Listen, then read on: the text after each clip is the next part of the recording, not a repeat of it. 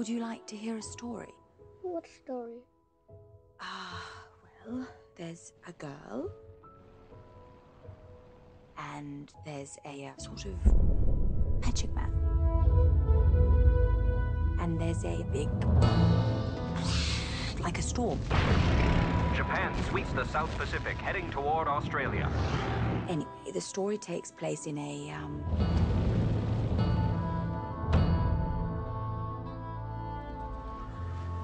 Faraway land. Called Oz.